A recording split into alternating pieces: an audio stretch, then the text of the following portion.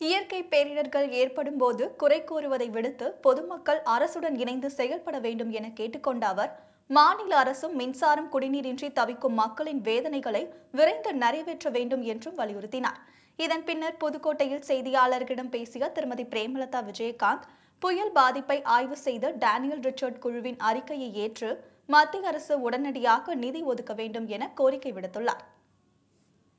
யாரும் வந்து ஒரு எம்எல்ஏவோ ஒரு எம்பியோ ஒரு மந்திரியோ யாரையும் சந்திக்க முடியல அப்படின்றது தான் மிகப்பெரிய ஒரு குறையா இருக்கு. அந்த வகையில் இன்னைக்கு நாங்கள் ஆளுங்கட்சியாக எதிர்கட்சியாக இல்லை என்றாலும் மக்கள் துயரில் பங்கேற்கணும். எங்களால் முடிஞ்சது கேப்டன் எப்பயுமே சொல்வார் என்றதை செய்வோம் இல்லாதவர்க்கே அப்படின்ற வகையில் எங்களால் முடிந்த இந்த ஒரு கோடி ரூபாய்க்கான நிவாரண உதவிகளை நேரடியாக மக்கள்கிட்ட கொண்டு போய் சேர்க்குறோம்.